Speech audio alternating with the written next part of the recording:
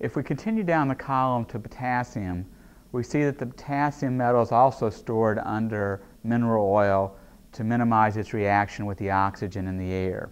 If we remove a piece of potassium metal, we can see that the potassium is coated over with a gray coating of the oxide.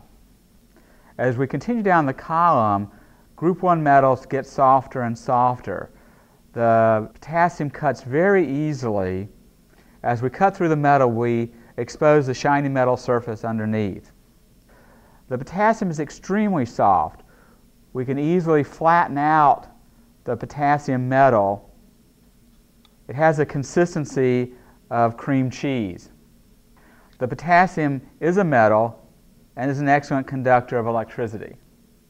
If we add a piece of potassium metal to water, we see that it reacts much more rapidly with the water than the sodium. As you go down the column, the ionization energy decreases and the metal reactivity increases. The reaction is very exothermic and the hydrogen that's produced ignites. We can test for the formation of potassium hydroxide by adding phenolphthalein.